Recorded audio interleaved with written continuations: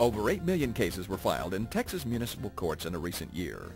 There were over 1 million bench trials. A tremendous number of the defendants in these cases appeared pro se. Under our adversary system, the judge's role is to referee between two presumptively matched sides. Two practical considerations challenge this well-known model in municipal court. First, most defendants are not represented by counsel and appear pro se. Second, most defendants enter a plea of guilty before the court in an ex parte proceeding allowed by Article 27.14 Code of Criminal Procedure. In this instance, the state of Texas represented by the municipal prosecutor does not appear, and the court proceeds with the often unrepresented defendant alone. This creates special risk for municipal judges. They must be very vigilant in protecting the defendant's rights. Without counsel, the defendant receives no competent representation, legal advice, and may not have any idea of his or her rights, obligations, and options. Yet the judge remains the judge and must never take the role of advocate or advisor to a pro se defendant. Here is how this judge makes it clear.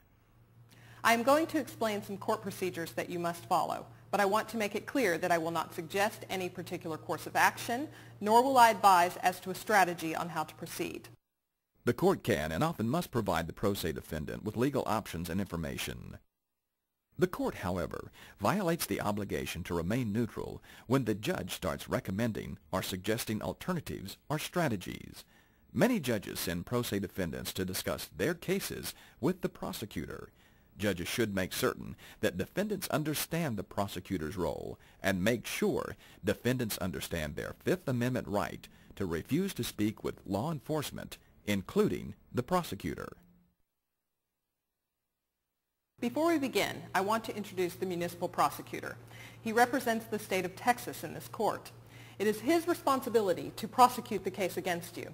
You may discuss your case with him, or you may choose to remain silent and not do so. Remember that he does not represent you, nor can he give you legal advice. What you say to the prosecutor might be used against you later. The Sixth Amendment to the U.S. Constitution guarantees the right to counsel in all criminal cases. The defendant may, of course, waive this right. The right to self-representation is even constitutionally protected. Neither the U.S. nor the Texas Constitution requires appointment of counsel to indigent defendants in fine-only misdemeanor cases but all criminal defendants have a right to retain and be represented by counsel. While the cost of legal services may cause many defendants not to hire counsel, all criminal defendants should be encouraged to seek legal representation and advice and be provided an opportunity to do so. Pro se defendants pose the greatest problems during jury trials. The pro se defendant must question the panel, exercise strikes, make opening and closing statements, examine witnesses, and make or respond to objections under the same standards that apply to attorneys. The procedures at trial and rules of evidence are identical for self-represented defendants and defense counsel. Not only must the judge be neutral, but must appear to the jury to neither favor nor disfavor either the attorney-prosecutor or the untrained defendant. This can be very difficult.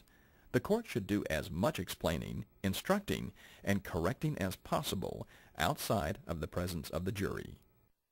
Pretrial conferences are also very helpful in preparing the defendant for trial and resolving issues that should not come before the jury. During the upcoming trial, you must follow procedures as set forth in the law. The trial will begin with jury selection. I will question the jury as to their legal qualifications. You may make legal objections to the panel or any individual juror. You will be able to question the panel, object to the prosecutor's questioning of the panel, and challenge jurors for cause. You may exercise three peremptory strikes. That is, you may strike three jurors for any or no reason. You are not required to call witnesses, nor are you required to testify. The burden of proof stays on the state. If you do not testify, the prosecutor may not comment on it, and the jury will be instructed that they may not consider your decision not to testify against you in any way. If you call witnesses or testify, the prosecutor is entitled to cross-examine. I will charge the jury with the law applicable in your case. You will have an opportunity to object to the charge and request submissions before the jury hears the charge. Each side may present closing arguments. The state goes first and last, but each side has equal time. I suggest you study the Texas Code of Criminal Procedure and the Texas Rules of Evidence and consult with an attorney if you have questions. During bench trials, the court must be careful to remain neutral, but the issue of unintentionally influencing the jury is not absent. The challenge is balancing neutrality and order against the defendant's right to have a meaningful opportunity to be heard. The first time the court will encounter a pro se defendant is during initial appearance. This stage is often inaccurately called arraignment.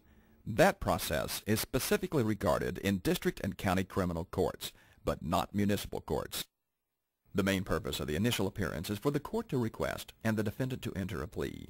There are three available pleas, not guilty, guilty, or no contest, also known as nolo contendere. The court should also give a number of admonishments to the defendant, allow knowing waiver of many of the defendant's rights, and make certain that a plea is voluntarily and knowingly made. Admonitions, often referred to as warnings, are often made to all the defendants that appear at one time before the court. This group is often referred to as the appearance docket. Some admonishments are made concerning particular charges or defendants and made individually. Let's watch Judge Dye give general admonishments to an appearance docket. All rise. Municipal Court, Texasville, Texas is now in session.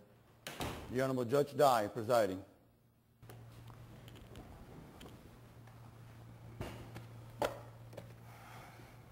Please be seated. My name is Judge Dye.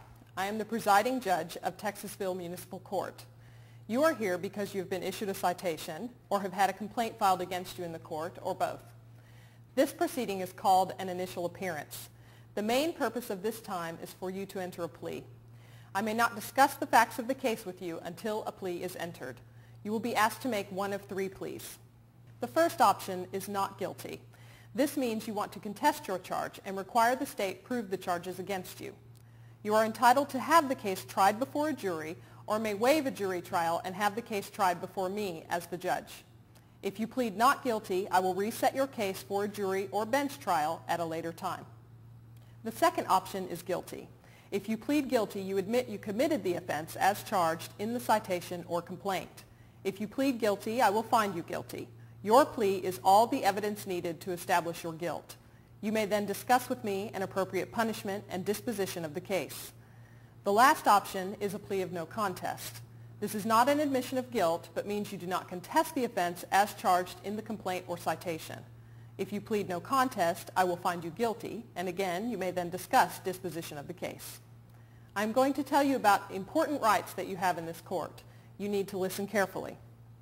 First, the U.S. and Texas Constitution guarantee any individual charged with a crime, as all of you here are, a right to be represented by an attorney and to consult with an attorney. Since the offenses all of you are charged with are not punishable with incarceration, you do not have the right to a court-appointed attorney but you do have the right to hire one. If you wish to waive the right to counsel, you need to know that if you contest your case, you will be held to the same standards in court as an attorney. An attorney could give advice about your legal options, the consequences of a conviction, evaluate the evidence and complaint in your case, negotiate with the prosecutor, file and argue motions, investigate your case, and try your case before the court or a jury. I will ask you later if you wish to proceed without an attorney. If you answer in the affirmative, you waive this important right. If you wish to exercise this right, please enter a plea of not guilty, and I will reset your case so that you may consult with an attorney or hire one. In every court in the nation, including this one, a criminal defendant is presumed innocent.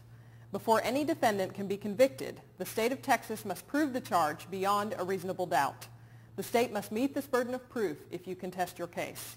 You have a right under the Texas Constitution to have a jury of six persons determine your guilt or innocence.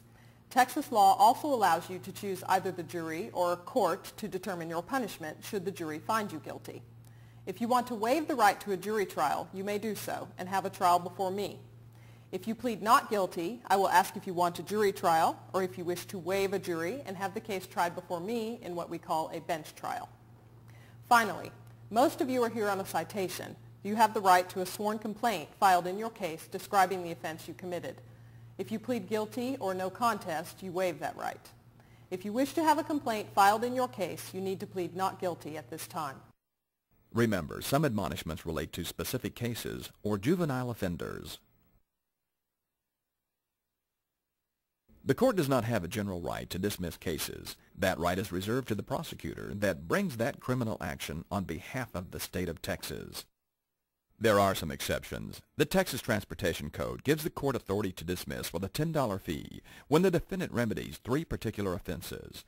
If you are charged with expired registration, expired inspection, or expired driver's license, you may be able to have your case dismissed if you have corrected the matter and pay a $10 fee. Likewise, certain productive offenses may be dismissed on presentation of proof of compliance at the time of the offense. If you are charged with failure to maintain proof of financial responsibility, also called no insurance, or failure to display a driver's license, you may have your case dismissed if you can provide satisfactory proof that you had insurance or a driver's license on the date of the citation.